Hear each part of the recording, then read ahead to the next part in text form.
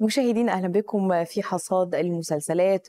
والنهاردة هلخص مع حضراتكم بعض من أحداث المسلسلات الهامة واللي اثارت الجدل على مواقع التواصل الاجتماعي خلال الساعات الماضية. وخلينا نبدأ من بيت الرفاعي. شهدت الحلقة العشرون من مسلسل بيت إرفاعي للنجم أمير قرارة تورط ياسين أمير قرارة في قصة جديدة ولكن هذه المرة بالصعيد. فبيحضر اتفاق على تسليم وتسلم قطع آثار بين الرئيس مهدي حمدي هيكل واللي قاعد عنده في منزله والمعلم المعلم عفوا بساطي علي الشامل. فيطلب الأخير تواجد ياسين لرؤية وتصوير الآثار في المقبرة قبل العملية طبعا يرفض الرئيس مهدي طلب بساطي على دخول ياسين في العملية إلا أن الأخير بيوافق وبيصر على أن يذهب معه وبالفعل بينزل المقبرة وبيصور الآثار بداخلها ولكن ما حدث أن البساطي بيتحفظ على ياسين إلى حين إتمام العملية. وبعد كده بيذهب بساطي إلى المهدي ويقرر يبيع له بضعف السعر ومقدم وإذا لم يتم البيع سيتم إلغاء العملية وسيدفن أو سيدفن ياسين داخل المقبرة. وبعد كده طبعا يرفض المهدي طلبه ويقرر البساطي التخلص من ياسين وبيرفع عليه السلاح في نهاية الحلقة وبتنتهي الحلقة العشرين على هذا المشهد.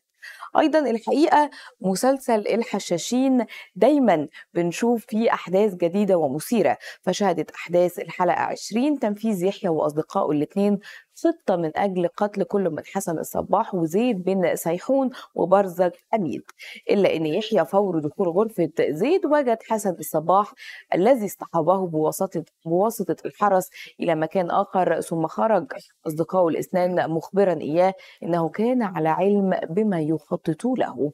ثم أمر يحيى بقتل أصدقائه الاثنين بيده لتنتهي الحلقة العشرين عند هذا المشهد وسط نظرات أصدقاء يحيى له وهم مشككين فيه خاصة أنه هو من وضع الخطة. شهدت أيضا الحلقة طلب زيد بن سيحون الزواج من ألينار رئيسة الجواري حيث ذهب إلى حسن الصباح وأخبره أنه بيرغب في الزواج منها إلا أن الأخير رفض تماما مؤكدا أنه كده بيهدم نظام القلعة المبني على نظام محدد وقال له أنه يؤجل هذا الطلب حتى يشن حرب جديدة ويختار من الصبايا وقتها ما يحلو له.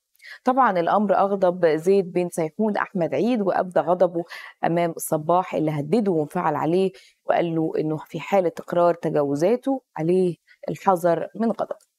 هي كمان شهد مسلسل الحشاشين مراقبة أحمد عيد لسوزان نجم الدين أثناء خروجها من غرفة برزك أميد وشكوا فيهم وأخبرها بذلك كما أكد لها على أنه يحبها إلا أنها أخبرته أنها بلا قلب كما أخبرته أيضا أن يعطلها أنه بيعطلها يعني عن القيام بمهامها في القلعة بما يفعله بسبب هواجسه. ومن الحشاشين خلونا ننتقل إلى مسلسل المعلم وده من بطولة النجم مصطفى شعبان طبعا وشهدت الحلقة العشرين منه أحداث مثيرة فبدأت الحلقة لما أحرق المعلم مصطفى شعبان الطريق حتى لا يتمكن رجال الجنتل وشداد من محاولة اللحاق به حتى يتمكن من مرور سيارة السمك ومعه المخدرات كان المعلم اتفق مع غلوش ورجاله على حماية سيارة السمك هذه المرة. أيضا اجتمع المعلم بشر مع المعلمين وأكد لهم أنهم يجب عليهم أن يكونوا بجانب المعلم في كل شيء خاصة أن مصطفى شعبان تأخر في الرد عليهم ثم يأتي اتصال من المعلم مصطفى شعبان اللي أكد له أنه دخل القاهرة بالسمك في حال ذهول من معلمين السوق كلهم. وخل أخيرا خلونا ننتقل إلى مسلسل حق عرب مسلسل حق عرب توالت الأحداث خلال حلقته العشرين فبعد أن خطف عرب السركي أحمد العوضي من قبل رجال مرزوق دخل عليه ابنه مازن جلال الزكي وبدأ في ضربه. في النهاية بصق عرب على وجهه عندما تحدث بالسوء عن أمه فنادى علي صاحبه تامر شلتوت واللي أحضر حقنة مخدرات وقرروا سويا يجعلوا العوضي يدمن المخدرات حتى لا يستطيع المقاومة وبالفعل أعطاه ثلاث حقن من المخدرات. يعني الحقيقة ده كان جزء بسيط جدا لما حدث في الحلقات العشرين من بعض المسلسلات وهم بيت الرفاعي الحشاشين والمعلم وحق عرب. أكيد هنتابع مع حضراتكم كل ما هو جديد في دراما رمضان 2024 بشكركم شكرا جزيلا على المتابعة وإلى اللقاء.